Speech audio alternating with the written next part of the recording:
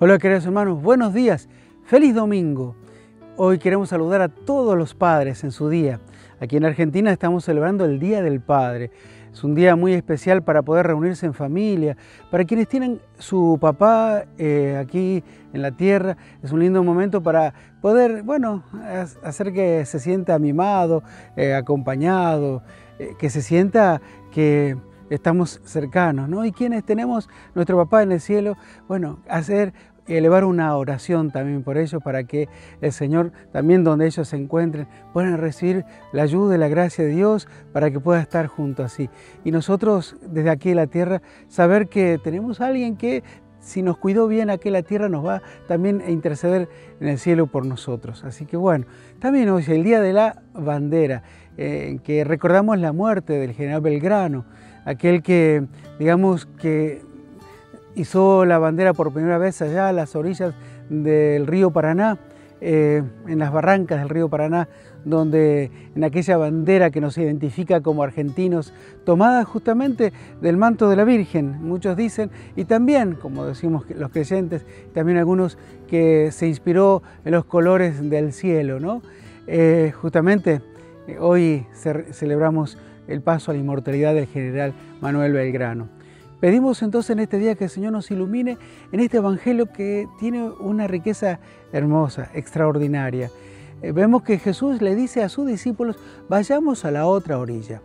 Eh, eh, ¿Por qué está indicando acá, en esta orilla del lago? De un lado estaba el pueblo judío, el creyente, pero del otro lado, cuando dice Jesús, es aquel pueblo pagano, pero es un pueblo que también ahí debía el Señor anunciar la salvación. ¿Por qué decimos que era un pueblo pagano? Ya vamos a ver más adelante, cuando Jesús eh, va a la otra orilla, se encuentra con personas que criaban cerdo, un animal impuro para los judíos eh, que observaban la ley. Entonces, vamos a pedirle al Señor entonces que nos ilumine en este día. Vamos a ir al Evangelio de San Marcos, desde el capítulo 4, el capítulo 4 desde el versículo 35 hasta el 41.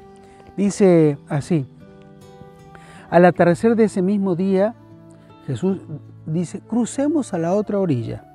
Ellos dejando a la multitud, los llevaron a la barca así como estaba. Había otras barcas junto a la suya. Entonces se desató un fuerte vendaval y las olas estaban en la barca que iban llenándose de agua. Jesús estaba en la popa durmiendo sobre el cabezal. Eh, fíjense cómo, qué, situación, ¿no? Los discípulos estaban atemorizados, aterrorizados con, con, que los vientos entraban en el agua, se hundía la barca y Jesús estaba dormido. Como muchas veces nos sucede a nosotros en la vida, que a veces parecemos que Jesús, ¿y dónde está Jesús? ¿Dónde está Dios? Y Él está allí. Él está allí, como sucedió en aquella barca, estaba allí. ¿Qué hicieron los discípulos? Entonces los despertaron a Jesús y le dijeron, Maestro, ¿no te importa que nos ahoguemos? Y despertándose él increpó el viento y dijo al mar, Silencio, cállate. El viento se aplacó, sobrevino una gran calma. Después los discípulos le dijeron, le dijo a sus discípulos, ¿por qué tienen miedo? ¿Cómo no tienen fe? Entonces quedaron atemorizados y se decían unos a otros, ¿quién es este que hasta el viento y el mar le obedecen? Qué interesante aquí donde los discípulos descubren en Jesús aquel que tiene un poder incluso hasta para calmar el viento. Ahí descubren un atributo de Dios, un atributo divino. Pero nosotros también debemos descubrir aquí que cuán importante es clamarle al Señor frente a esas situaciones de adversidad, de tempestad que a veces tenemos en la vida. Despertarlo. Señor, no te importa que me esté pasando esto o lo otro. Señor, ayúdame. Y seguramente el Señor nos ayudará a calmar la tempestad que a veces nos sobreviene en la vida.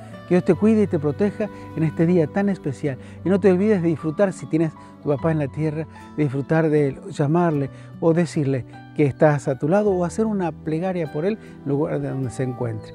En el nombre del Padre y del Hijo, del Espíritu Santo. Amén. Y adelante.